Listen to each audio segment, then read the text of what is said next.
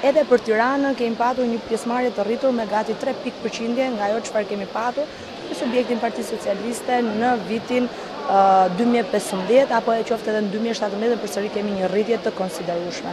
Ajo që vëmë re është që mbas një muaji një klime politike tejet të nxehur, me thirrje për bllokim, për dhunë e të tëra, qytetarët shqiptarë treguan dhe njëherë nëpërmjet kësaj pjesëmarrje shumë të lartë për Tiranën, përtej të gjithë situatës dhe temperaturave të nxehta dhe përtej të gjithë atyre hot spoteve apo pika të nxehta që kemi patur edhe dje me protesta qoftë në Kombinat apo dhe në zona të tjera që ia kemi dalë më së miri dhe them jo si Parti Socialiste por edhe si qytetarë të Tiranës, për t'i thënë jo një lloj politike që do të pengojë, po të vetmit mjet demokratik që përcakton se kush duhet të të drejtojë apo kush duhet të jetë ai që do të lidhi kontratën me ty për katër vjeçarin e ardhshëm për ato çfarë duhet të ofrojë pushteti vendor në Tiranë. Vura re që ka një lloj shqetësimi për votat e pavlefshme. Është në trendin normal.